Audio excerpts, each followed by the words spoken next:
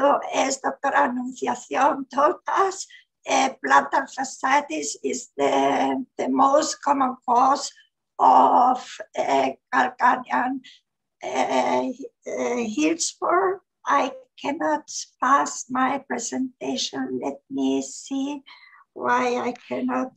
Just press Just- in siguiente, siguiente. you- Ah, siguiente. Just press here en siguiente. A ver. Siguiente. tienes un- no. tienes Sí, abierta una, tienes abierta una ventana blanca que dices, y el primer ítem es siguiente, ahí. Sí, sí, sí, sí. A ver. I cannot give to the next slide, sorry. Siguiente. I don't, I don't know why I cannot uh, give it to my next slide.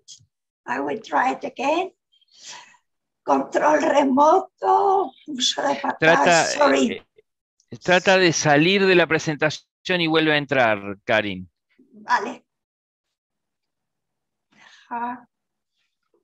Espera. Es que no sé por qué no me da. Karin, lo que puede hacer, lo que puede pasar es que no estés compartiendo la, el eh, la pantalla que quieres, o sea, el archivo que quieres, de repente estás compartiendo otro. Sal y vuelve a entrar para compartir la pantalla. esa. O sea, el uso compartido de pantalla. A ver, es que mi ratón deja de compartir. Now I, I'm sharing it again, ¿ok? Compartir pantalla. Y ya no toques más, eh, eh, y ya solamente avanza con la flecha. Una vez que compartas pantalla, avanza con la flecha, pero te, Vale. todavía no compartes. O sea, no doy a compartir. Que comparte, comparte la, la pantalla, como antes, exactamente igual.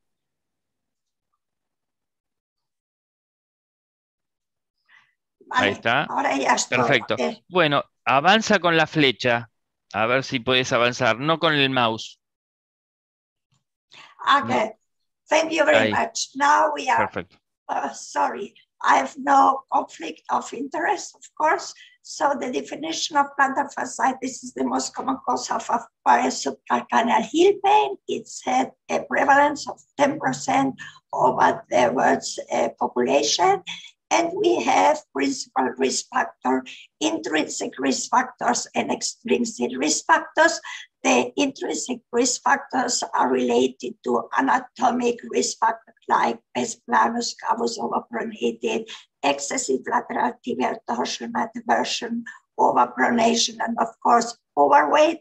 Functional reasons to do with tightness or weakness of gastrocnemius soleus and foot muscles, and degenerative risk with aging of the heel fat pad atrophy and stiffness of the plantar fascia.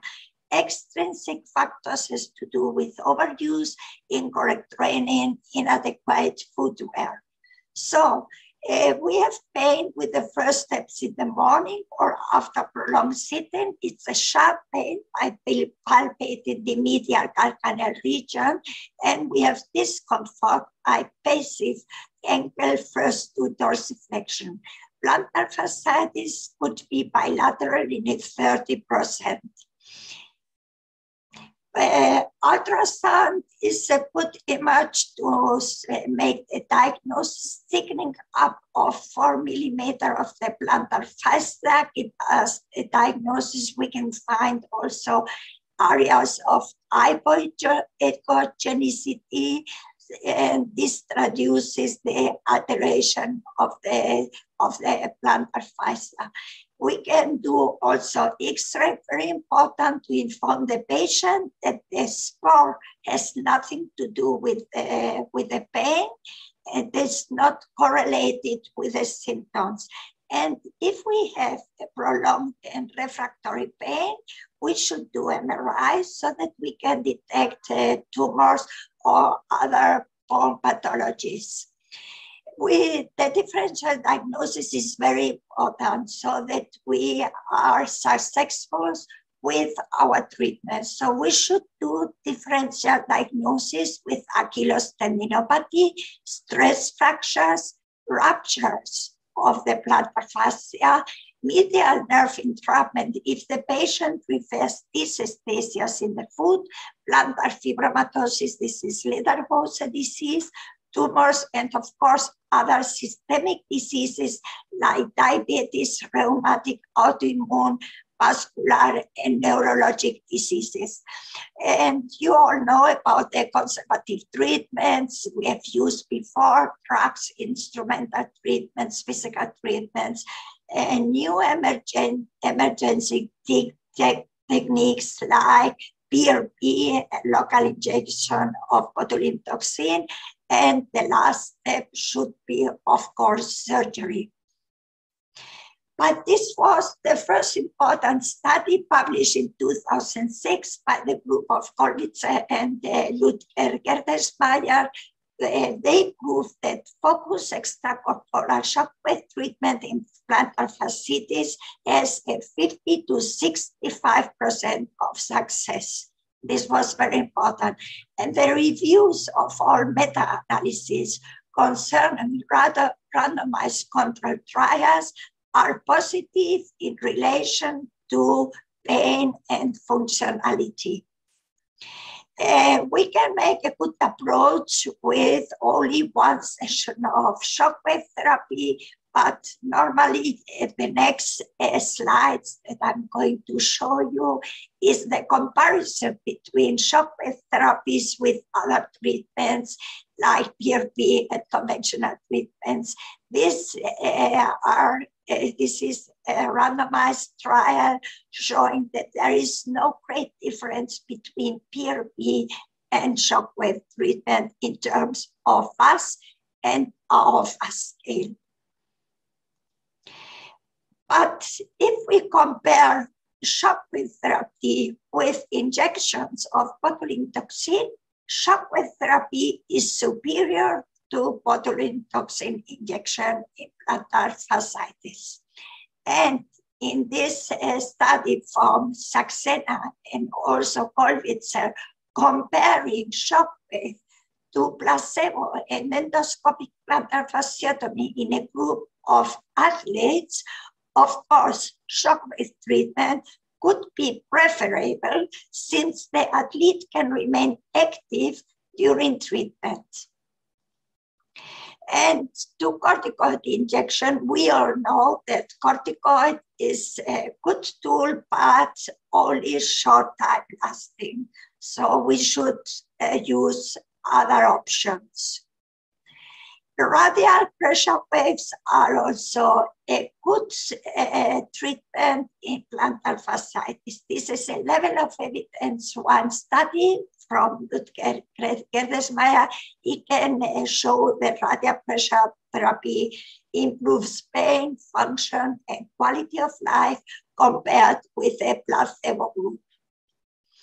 And if we compare with other treatments like orthotic treatments or low level laser therapy versus radial pressure waves, we see that all are effective and no superior.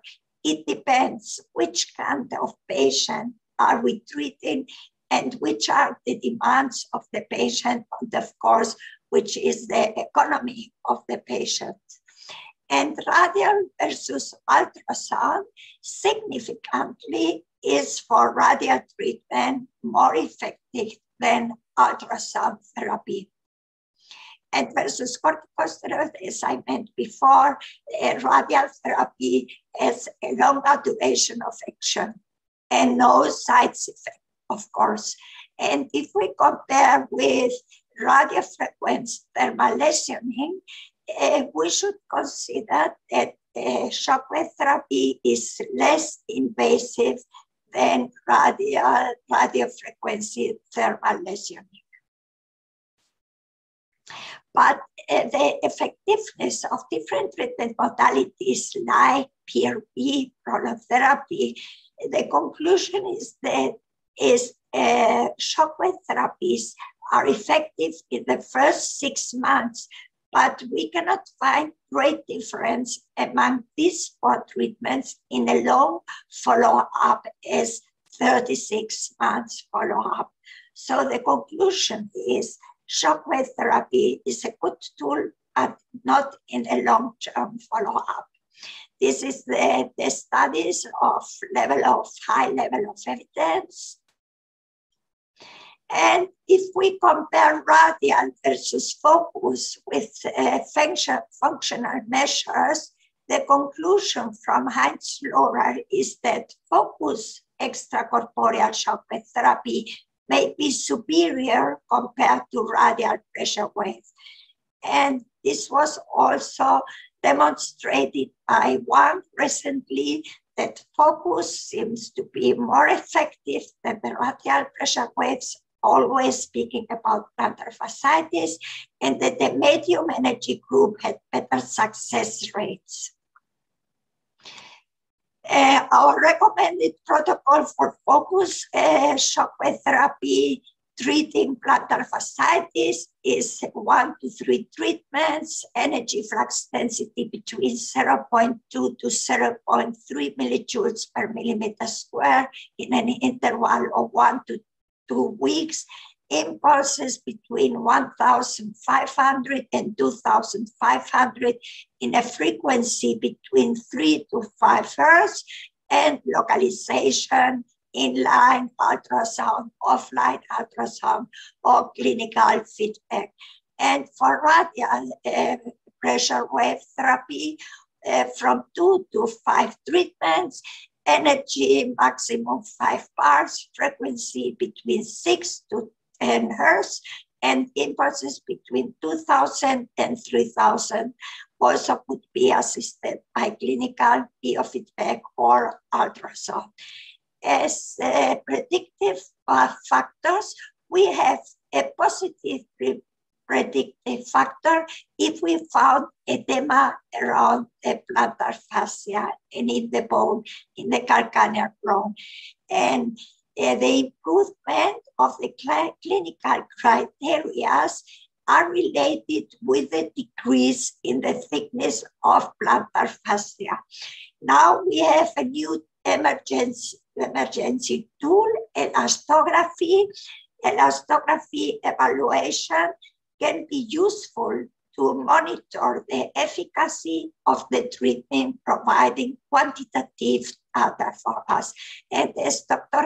Asuncion told us, no complication at all with uh, our shockwave therapy, plantar fasciitis.